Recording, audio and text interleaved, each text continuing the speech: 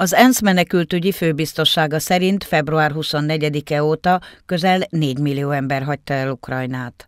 A távozók körülbelül 90%-a nő és gyermek.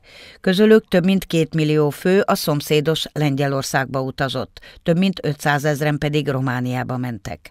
Magyarország területére eddig már több mint félmillió ukrajnai menekült érkezett. Vasárnap az ukrán-magyar határszakaszon közel 5000-en léptek be.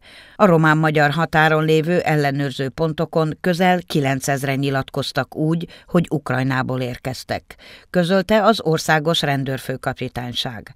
A beléptetettek közül a rendőrség 393 embernek állított ki ideiglenes tartózkodásra jogosító igazolást, amely 30 napig érvényes. A rendelkezésre álló idő alatt kell felkeresniük az Országos Idegenrendészeti Főigazgatóság tartózkodási helyük szerinti illetékes hivatalát a végleges okmányok beszerzése érdekében, tájékoztatott az ORFK.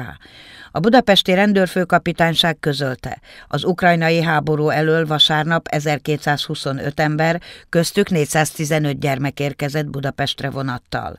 A külön vonatokkal Kőbánya felső vasútállomásra érkező menekülteket buszokkal vitték a Bokcsarnokba, ahol a magyar kormány a karitatív szervezetekkel együttműködve egy héttel ezelőtt nyitott számukra humanitárius tranzitpontot.